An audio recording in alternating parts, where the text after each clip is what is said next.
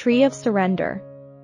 Cuban Freedom Fight Poems is a 2008 historical novel for young people written by Margarita Engle. The plot is based on Rosario Castellanos Castellanos, a famous figure in Cuban history. Rosa is a freed slave who becomes a nurse on the run, helping the Mambi rebels fight for independence from Spanish rule in mid-19th century Cuba. The Surrender Tree is based on Engle's own Cuban-American background and stories she learned from her grandparents who survived internment in a Cuban reconcentration camp. The Tree of Surrender is written in free verse, poetry that doesn't rhyme and doesn't have the right meter. The poems switch mainly between four points of view, Rosa, her husband Jose, a cruel slave hunter named Lieutenant Death, and a young girl named Sylvia.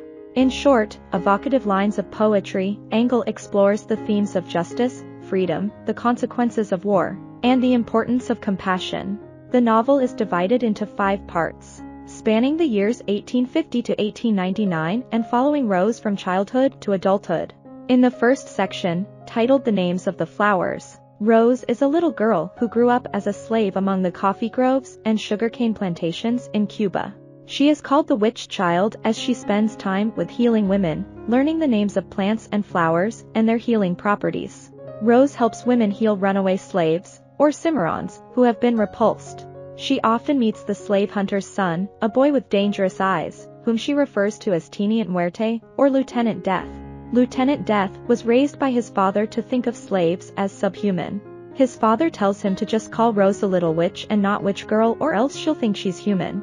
Lieutenant Death watches as his father collects the ears of slaves who resist capture and trades them for pesos. Lieutenant Death is afraid and dislikes Rosa. Rose is unhappy when her owner lends her to a slave hunter. She must travel with him and Lieutenant Death, raiding hidden Cimarron villages. Rosa heals the wounded slaves, but is powerless to free them. She muses that a hate must be hard to learn.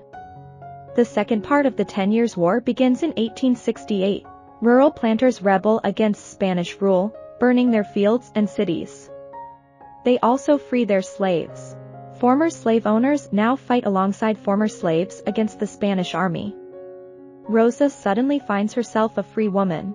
She wonders, is it really true that freedom only exists when it is a treasure shared by all? Rosa is also at a psychological crossroads.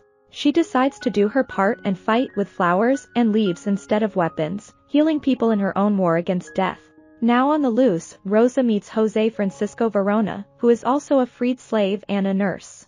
They fall in love and marry, devoting themselves to healing the wounds of slavery and the wounds of war. They join the Mambi rebels, treating injuries and illnesses. Rosa's healing abilities, along with her compassion, are now legendary and have made her a target for the Spanish forces.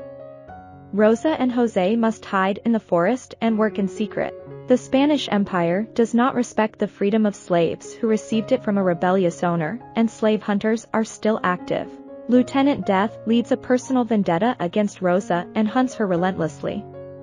He is injured while chasing her, and Rosa heals him. Captain General Valeriano Weyler y Nicolau, a Spanish officer, also wants to kill Rosa, the witch to keep her ear in a jar to symbolize that slave owners cannot free their slaves without Spanish approval, and to show that the rebel cause is doomed. Weyler orders all Cuban peasants to leave their farms and go to the concentration camps or else they will be killed. Conditions in the camps are difficult, there is not enough food, people begin to starve and die of disease. Many try to escape into the jungle. Jose and Rosa work tirelessly, but they are exhausted and Jose worries, who will cure us? The period 1878 to 1880 brings the Little War. Rosa muses, Little War? How can it be a small war, some deaths, less than others, the departure of mothers, who cry, a little less? The War of Independence takes place from 1895 to 1898. At this time, the United States shows interest in Cuba and intervenes in the conflict when the Spanish army blew up the American ship Maine in Cuban harbor. We also meet Sylvia, an 11-year-old girl whose family was sent to the concentration camps. Sylvia is now an orphan, having lost all her family members to starvation and disease. Sylvia knows about Rosa, who once healed her grandmother. Sylvia believes that Rosa is her only hope and escapes from the reconcentration camp to learn the methods of treatment from her. Rosa and Jose take in Sylvia and Rosa teaches her how to be a nurse.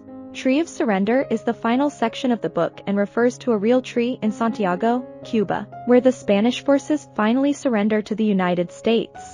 While Rosa, Jose, and Sylvia are glad the Spaniards are gone, they are disappointed that Cuba is still not independent, now under the rule of the United States. Jose comments, we can only watch from afar as the Spanish flag goes down and the American flag slides up. Our Cuban flag is still banned. However, they are full of hope. Sylvia says, the world is not heaven, as I imagined, but it is a chance to dream. The Surrender Tree has received numerous awards, including the Newbery Honor Award and the Pura Belpré Award, given to a Hispanic or Latino author whose work best portrays and celebrates Latin American culture in a work of literature, for children and young adults. I hope you enjoyed this video leave a like if you did and be sure to subscribe thank you.